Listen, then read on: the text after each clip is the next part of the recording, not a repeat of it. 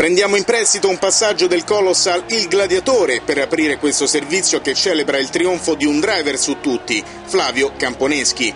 Romano Doc dal piede pesante, un cervello sopraffino, il principe del Tony Kart Junior Team ha letteralmente massacrato la concorrenza attraversando mille battaglie. Già, proprio come Russell Crowe, alias Massimo Decimo Meridio, nel celebre film che ha spazzato via ogni record incassi qualche anno fa. Camponeschi ha conquistato con una supremazia imbarazzante la Coppa del Mondo della KF2, lanciando in orbita il Green Power, che ha il merito di aver creato una nuova stella da proiettare nel firmamento del karting. Un nuovo big della disciplina destinato probabilmente ad ereditare un domani quel pesantissimo testimone passato fra le mani di pezzi da 90 quali Foré e Ardigò, tanto per rimanere nell'attualità o recente passato. Gongolano tutti ovviamente in Tony Kart, dall'ultimo dei meccanici al primo degli ingegneri, sotto il ghigno orgoglioso di Patron Robazzi, che può festeggiare anche il titolo iridato della KF1 col sensazionale bis di Marco Ardigò, riuscito nell'ardua impresa di mantenere la corona del leader conquistata la scorsa stagione e accudita nella Factory di Prevalle, iscrivendo ancora il suo nome nell'albo d'oro della disciplina.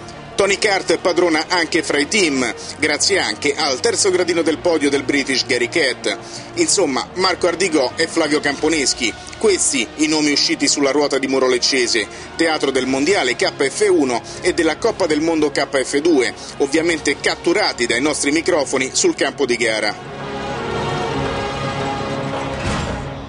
Sono contentissimo per il risultato anche perché un mese fa ho vinto il campionato europeo, adesso la Coppa del Mondo e sono contentissimo, ancora devo realizzare quello che è successo quest'oggi qui a Lecce. Un bis eccezionale che comunque ti proietta verso un eh, 2009 davvero big. Che prospettive ci sono per gli anni futuri? Ancora, ancora nessuna, vedremo i prossimi mesi, prossime gare, si deciderà tutto e vedremo comunque sarà un ottimo anno anche il prossimo. La primissima emozione all'arrivo, quando hai visto sventolarti sotto il naso la bandiera a scacchi. Ho avuto un flash, è stato veramente emozionante, commovente, è stato tutto. A chi dedichi questa vittoria, Flavio?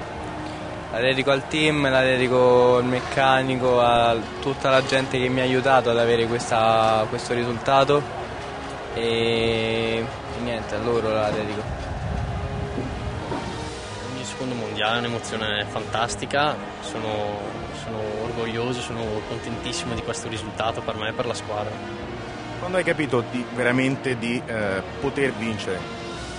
Ma in realtà devo dirti, quando, quando ho attaccato per la seconda volta Gary e ho preso subito un po' di margine, sapevo di avere un, un alto ritmo, però non ero sicuro di poterlo staccare così facilmente. Invece sono riuscito subito a staccarlo, quindi a prendere un po' di metri, l'ho tolto dalla mia scia e pian pianino ho preso margine. Questo sicuramente è il momento in cui ho capito che, che era il momento per- per- per spingere forte. Un 2007 da record eh, e un 2008 altrettanto da record, forse chissà anche qualcosa in più. Ma per adesso abbiamo uguagliato, quasi uguagliato il 2007, nel senso che mi mancherebbe la Coppa del Mondo in Giappone, però vabbè, quest'anno purtroppo per sfortuna non è andata, non è andata troppo bene, comunque sia partivo in prima fila anche quest'anno. E poi adesso ci sono due, due appuntamenti per me importanti, insomma ci sarà Macao e Las Vegas, quindi insomma non è ancora finita per quest'anno, bisogna vincere ancora.